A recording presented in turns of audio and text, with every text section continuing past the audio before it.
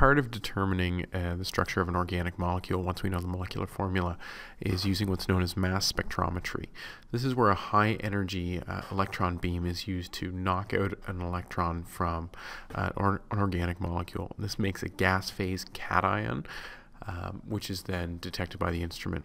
Okay, you'll recall that we looked at mass spectrometry and how it works a long time ago in topic um, in both topics one and two, uh, looking at isotopic uh, patterns. Okay, so um, it's also important to note that a mass spectrometer um, will only detect cations. Uh, so it also won't pick up any uh, neutral neutral radicals or anything like that. So I'm going to illustrate how this works by examining propane. So the equation for what would happen in a mass spectrometer to the propane molecule, so that's C3H8, gets hit with a high energy electron, releases C3H8 1 plus and two free electrons. Now remember, the mass of an electron is essentially zero. Uh, so when an electron is removed from C3H8, its mass, the mass of the, the, molecule itself doesn't change when it becomes an ion.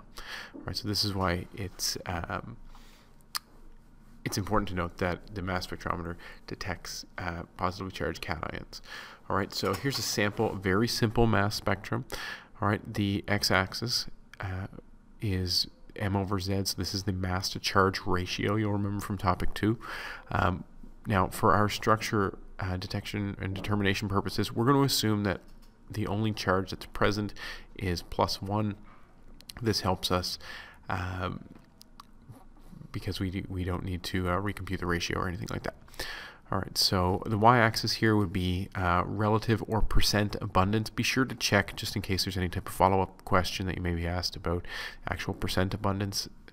Um, you can see here this would actually be uh, relative abundance because that peak at 44 actually goes all the way up to 100 and then the peak at 45 you can see uh, is about 3 so I would actually have to recompute if I needed to determine the percentage. You can go back and have a look at the work from topic two if you need some elaboration on that. All right, so the uh, the the signal that occurs at the uh, at the highest mass to charge ratio is what's known as the molecular ion.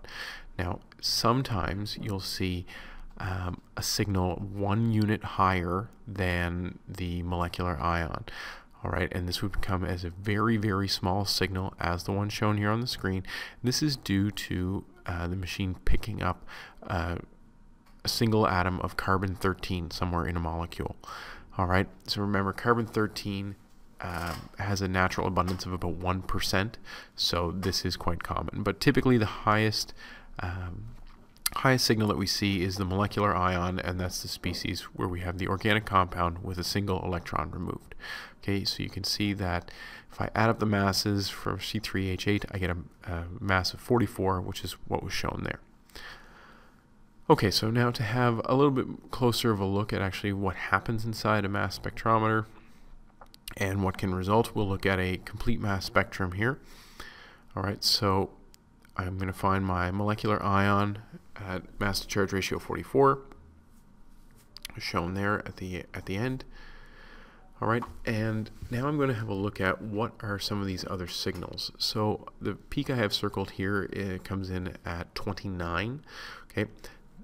So if I subtract 29 from 44 I find out that's 15 well that means that from the signal at 44 to the signal at 29 we've lost 15 mass units this is a common indication that a methyl fragment has been lost because a carbon has a mass of 12, each hydrogen has a mass of 1 for a total of 15. So that signal itself indicates that a methyl group, CH3, has somehow been lost.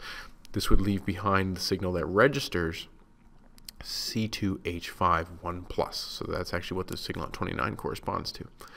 Um, this entire mass spectrum is displaying what's known as a fragmentation pattern.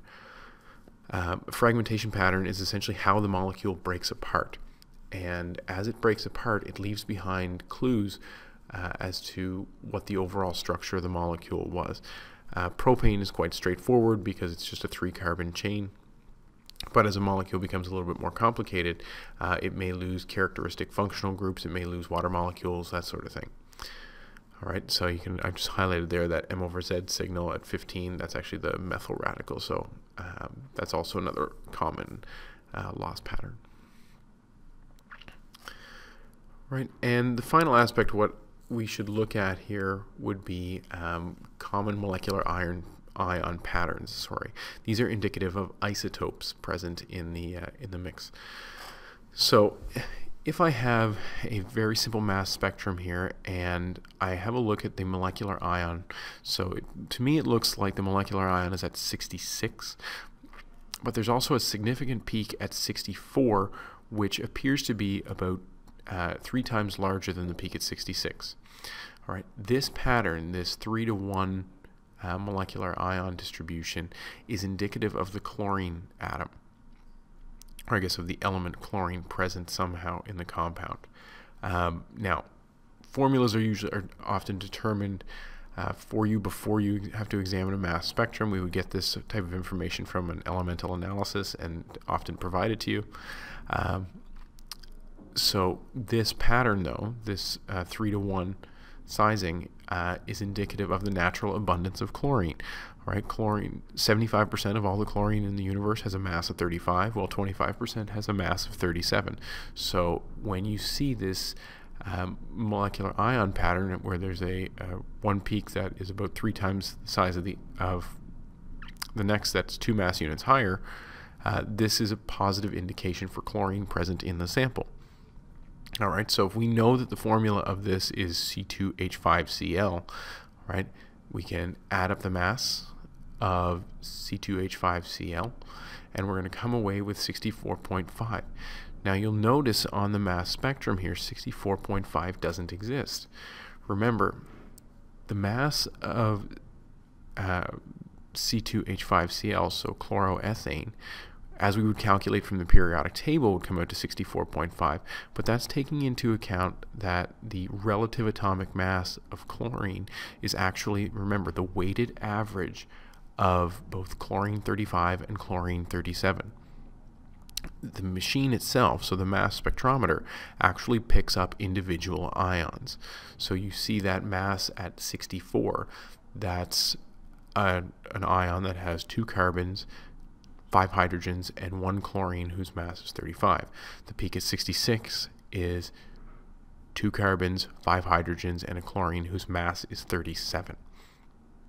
So this is quite common when we are looking for things like chlorine. Bromine has a, a very easily identifiable splitting pattern as well like this. Um, the bromine isotopes are essentially equal, so we see essentially two molecular ion peaks uh, separated by one unit.